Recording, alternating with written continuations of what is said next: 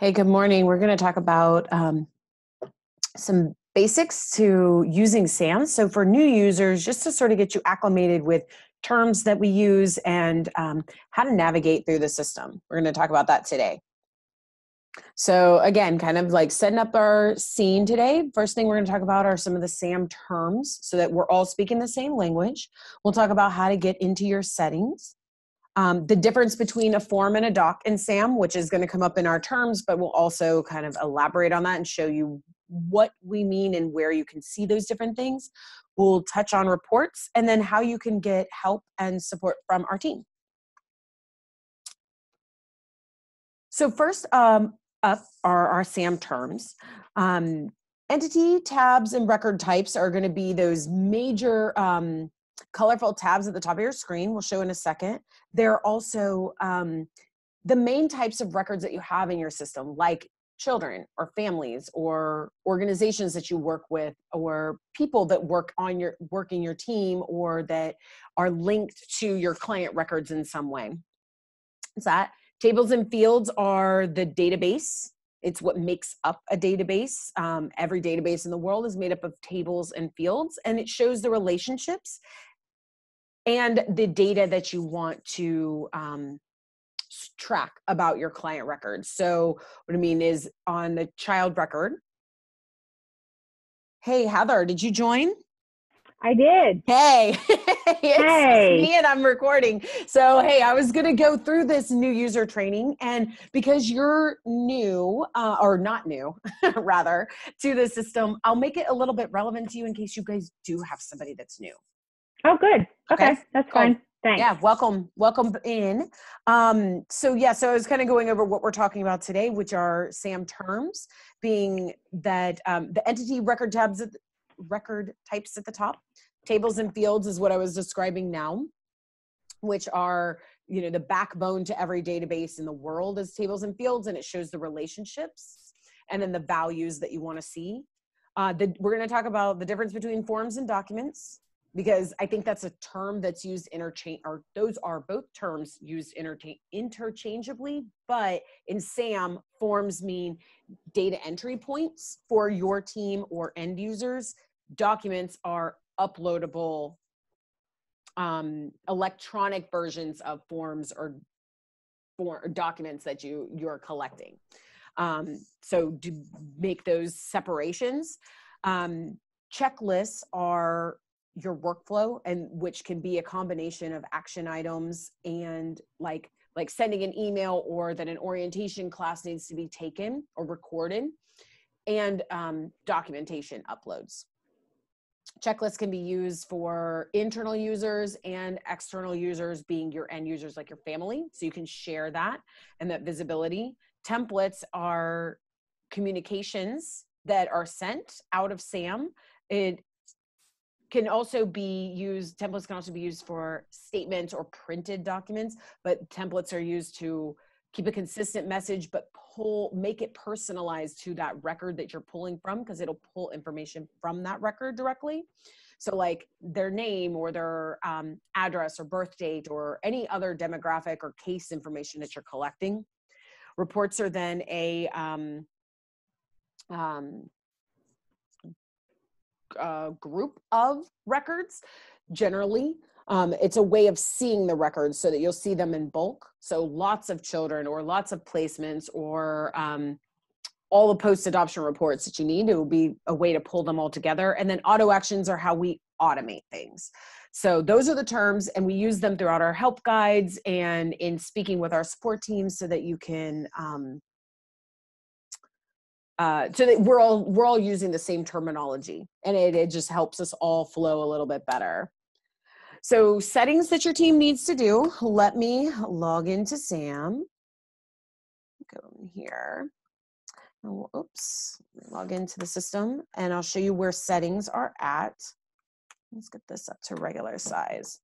So settings that new users will need to manage are generally going to be found under settings um, new users are really going to set up they won't see most users are not going to see the settings that i see here or that you can see here but what they do see are user settings so customizing the report menu is the sh- reports that are shown on the homepage when they log in.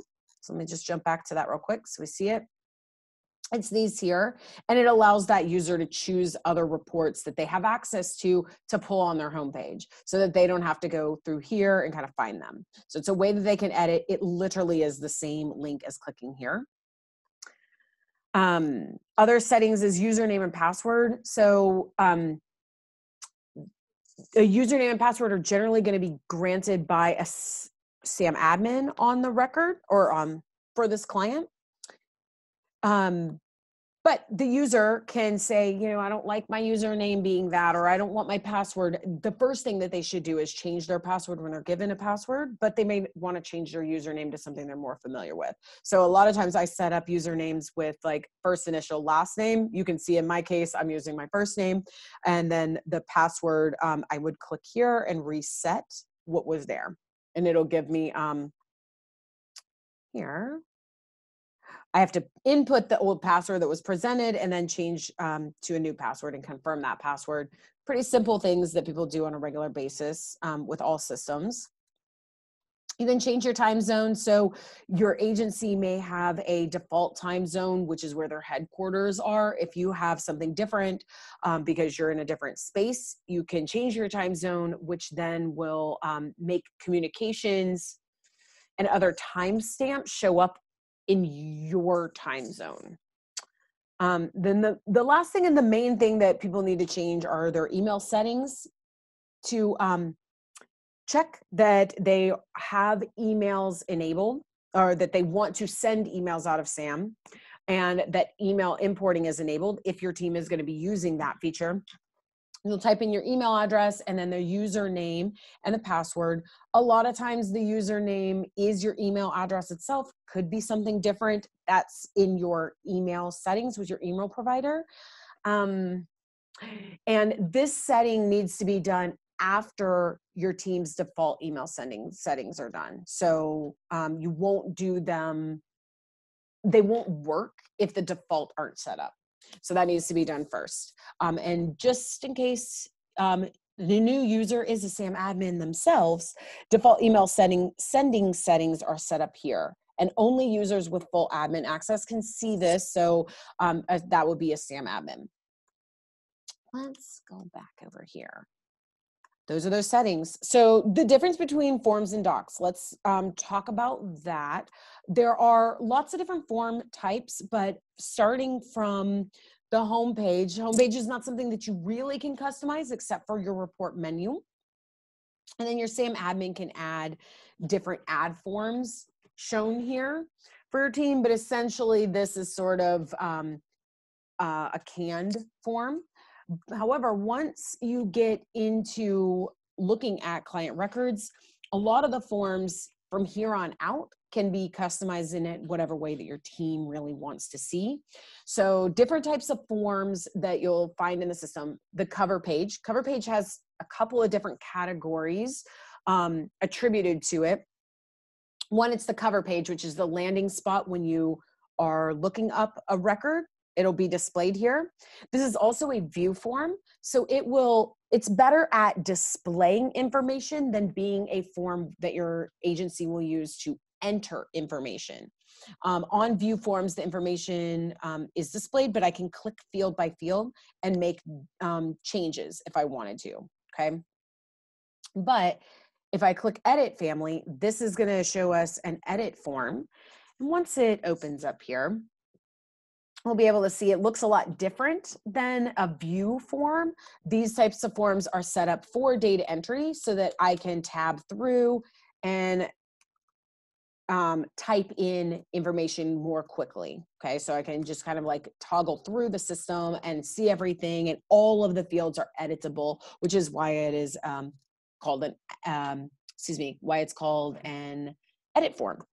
Um, the add forms that are shown um, on the homepage or on any of the tabs, okay, different tabs here. These are also edit forms. When you click on, you can go and edit. Okay. Um, okay, so, the, so forms are used for data entry. They're data entry points there. Um, in contrast, a document is going to look like this.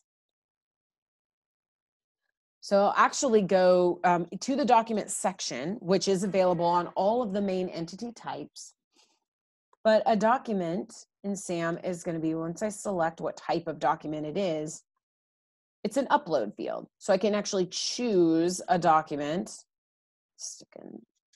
Uh, I'm not sure that'll go in. I'm not sure that's gonna, I'm gonna want to use that one. Uh, uh, uh, uh, what am I gonna use? There, that's perfect. Perfect um, document here. So I can upload this document here. I can put other notes about it if I like. And then this is my latest document that I uploaded and I can download the document so that we can see it.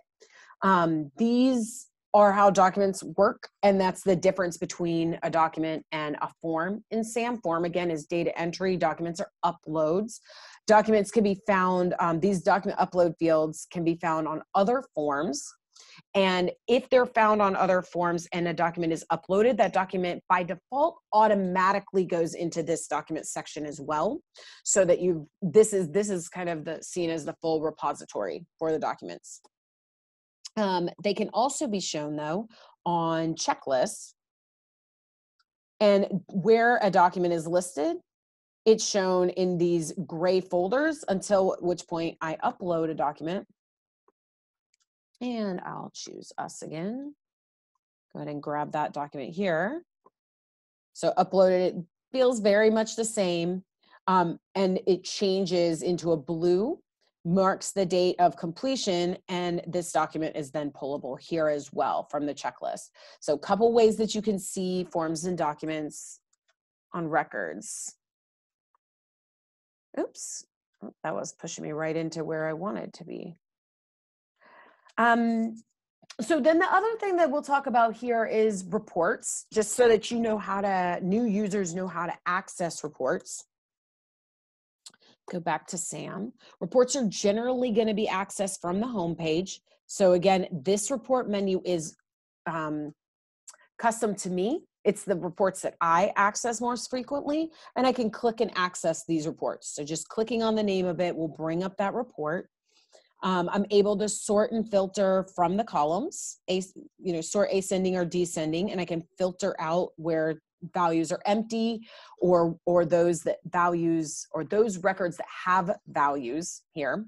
You could also do a more advanced search um, i can buy that particular column okay is what i'm pulling here. You can do a search from any other table or field that's pulled on this report. So i could pull things about the case that um, may or may not be rel- um, be shown and displayed on this report itself. Is it can get really advanced and it's sort of dependent on what is the purpose of your report and what is it that you're trying to look for. Um, other things that you can do on report is actually edit the value so i could end this placement from the report. I could assign a social worker. I can also click if there's a value in the report i could filter by that value or exclude that value so i can kind of manipulate what records we're seeing on the report from within it. And i could also change the value of that report. Um, calculations can be shown if um, i have the report narrowed to records that i want to do something with. I have options which are i could send um, I could print this report, I can send a bulk email, or I can print templates. And so templates again are those um, messaging that kind of pulls in the people's name or other information about their case that you want to share. I can export to Excel. And under advanced options, I'm not sure if this is only available for full admins or not. Um, but there are a couple of options here to print address labels, export all the email addresses so that you're just pulling all the email addresses into a night, uh, little box that you could use as a BCC or import into another email utility that you might be using. But you could also bulk update the records, and I could give all of these. Say every every youth on this um, report is now like the ongoing social worker is myself. Can change all their records with one swoop rather than having to pick individually. I could also insert records. So maybe all of these people came to a picnic or um, some other group counseling session that we held. I could insert a communication record or a counseling note or some other type of record on their system, um, excuse me, on their record that updates all the records again in bulk so that I don't have to go one by one and add the same information to all of them. Um, and I think that's it as far as, let me jump back over here, over to reports. Yeah, so our next you know call is going to be on june 3rd we'll talk about checklists and at this point i'm going to open it up to heather to find out what kind of things um, are happening in your world and what kind of things that you might want to know and might be helpful and actually me pause that i'm going to show you some other things real quick Heather, you can go ahead and unmute yourself whenever you like. But one thing for you that we've been working on um, is in our guides is the get started. So we've been working on making this information more easily available and, and concepts that um, need to be understood for just using a software system and really like SAM or any other. The tour of SAM is just that. So it kind of gives the overview and the terminology that we talked about, but also how what are your options for getting data in and templates. So these are things that you could absolutely give to new users that are coming on to just um, they're full of videos um, to help you and and then guide information as well right? So whether you need to see it or you want to read it um, that information is available here. Um, if you're a little bit further in a sam admin this implementation success guides give you a similar feel but like they start to get you into what kind of questions do you need to have answers to or start making decisions on? So how do you setting up your current data? You know are you going to do a data entry? Are you going to do a data import or a data migration? And starting you on thinking that process through. So just know that those those tools are available for you. We're constantly really like updating this to make it more clean and more concise. Um yeah that's what i have to say today. Thank you for joining heather. Sure yeah. What yeah, kind that's of good to know. Good. Okay. This year, do you think that you guys would use this part? I mean, you've been using Sam for a long time. I don't know exactly how long. Yes. Um, but I think definitely for as we're, you know, I'm working on creating um, a lot of checklist kind of thing. We're as especially for the home study process, as our social workers are using going to be using SAM just while they have active clients that you know giving a tour of sam there will be helpful for them since you know it's kind of like enabling their access while they need it disabling it just because of the cost. Mm-hmm. um, you know i think that will be helpful for them. Good. Okay. Okay cool. Yeah. and it should take really um, my under i have not done the um, math on it but I, my understand that my teammate has and she said it's under 20 minutes to view all of the videos. So the first one oh, i think is a six okay. minute video but the rest are like under three so that it should be quick nice. to get through. And um, yeah, that's good. Yeah, I think there is over here. We added actually in this section too, um, all of the videos all in one place because while you may have watched it at one point mm. in time, watching them, seeing them all again, this is all of the five that we've built um, in the last month or so, all pulled together. Okay. Okay. Okay which is probably that's, that's probably the link that you want to give them. Uh, yeah, cool. Definitely. Okay. Okay. Um, oh no, I really don't have anything. I mean, I I just wanted to join and kind of see what you were covering, and I'll send this out to my to my group. You know, for anyone that wants to um, get familiar with Sam and uh, send the videos. So yeah, that's good stuff.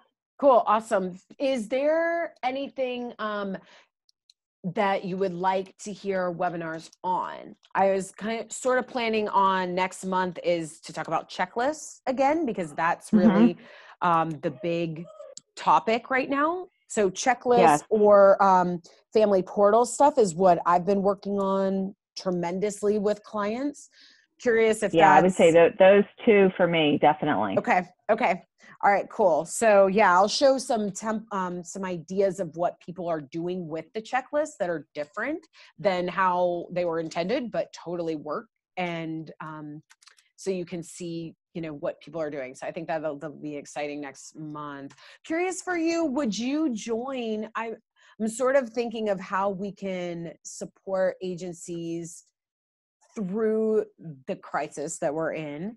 Um, a little bit better, I was thinking potentially opening up another like open hours webinar where it's just come and Mhm. join for a call if you want. Would that be helpful to you? Do you find like would you think that you might jump on? Yeah, with, with other with other SAM admins from other agencies. Yep. Mm-hmm. Yeah, I think that would be wonderful. Yes, Okay. I would love to collaborate with them. Yeah. Okay. All right. Cool. Yeah, that's sort of what I'm thinking is to have this style of webinar once a month and then another open hours, community hours that we can just get together and say, this is what we're doing and what do you need? What kind of support do you need to get that done for your team or how do you envision it? Great. Yeah. Okay. Great. All right. And definitely as as agencies are going through reaccreditation process and IAAME and Department of State, you know, all that. So, Yep. you know, anything we can all, you know, talk through things and, and learn from each other, I think would be very beneficial. Okay. Okay. Cool. Cool. Well, I will put that into play um, as quickly as I can to try and get one out. Maybe get a, a time scheduled for us in May, really, to kind of Okay. support you guys through this um, up and coming. Do you guys are you upcoming? Are you upcoming with accreditation? Yes, we are. Ours is scheduled for August. August. Okay. Hmm early August, and we just got our self study all submitted uh, last week. Okay. Wait. Say that one more time. The the study. We had a self study. Oh, where You go through all the different chapters, have to upload everything to their portal. Okay. So all of our case records and home study records and foreign service, uh, you know, providers and you know everything. So that's pulling a lot of reports out of Sam. Yes, a lot of Sam stuff. Yes. Okay. Okay. All right. yeah. And it was in preparation for those and pulling those reports. Did you have any issues? Because you didn't reach out to me for that.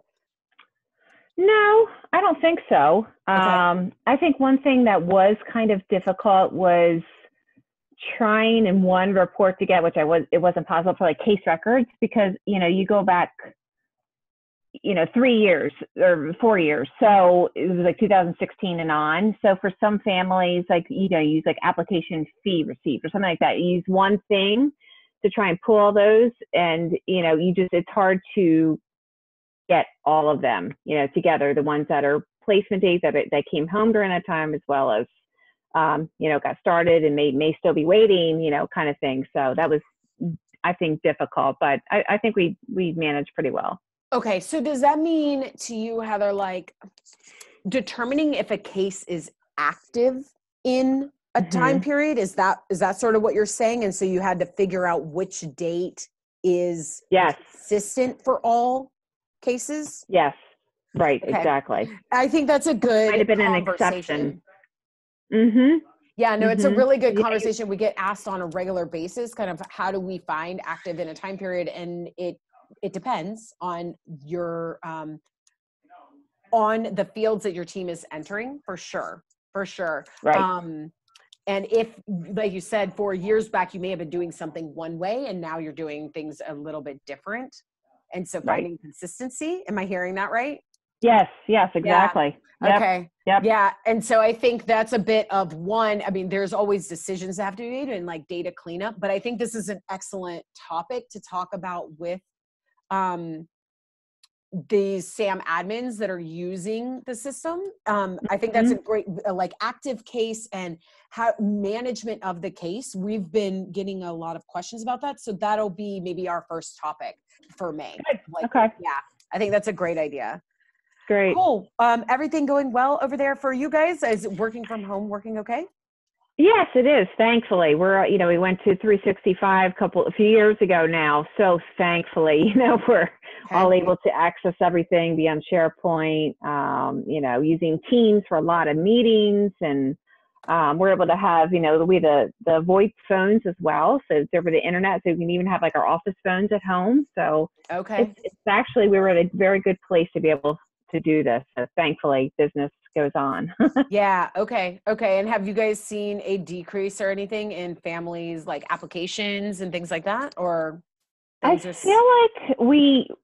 I thought it would be worse. Um, I feel like it, it, we continued receiving applications and a lot of interest, and then it kind of dropped off for a little bit. Now I think it's back again. Um, okay. Okay. So as maybe things are starting to reopen again, people are getting more positive, and yeah, and I think things are picking picking up more now.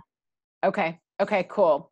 Good. Yeah. Okay, that's good to hear. Yeah, no, I hear differing things from different people, but for the most part, it sounds like child welfare is held fairly steady.